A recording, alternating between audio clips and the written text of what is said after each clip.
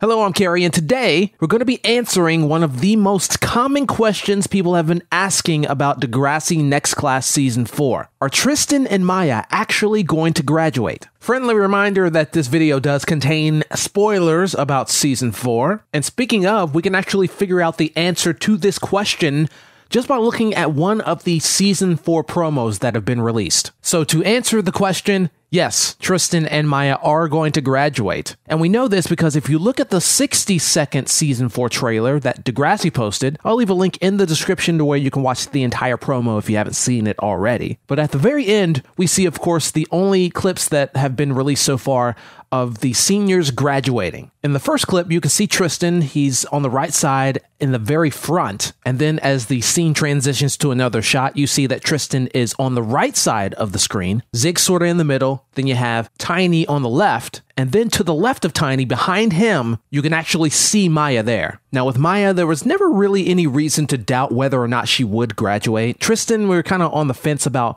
uh, how he was going to end up graduating because he missed so much time.